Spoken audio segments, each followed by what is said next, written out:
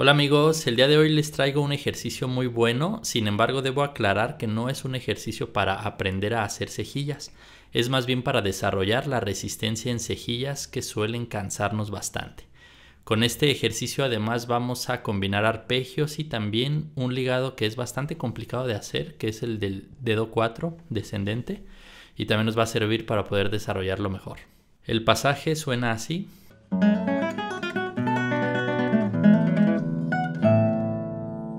Y este pasaje es parte de un arreglo que recientemente hice de la canción Bonita de Luis Alcaraz. Si lo desean pueden adquirirlo en mi página web.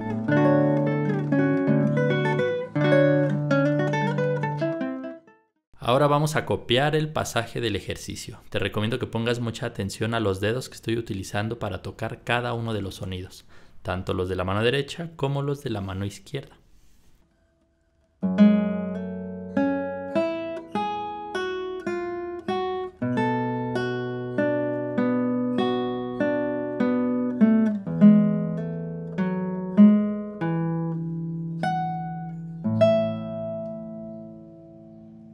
Para estudiarlo vamos a poner el metrónomo a 50 bits por minuto y vamos a tocar el pasaje una vez.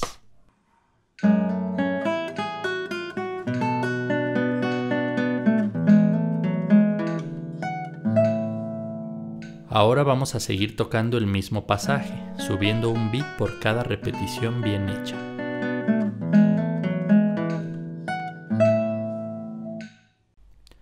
Y haremos esto hasta llegar a 100 bits por minuto.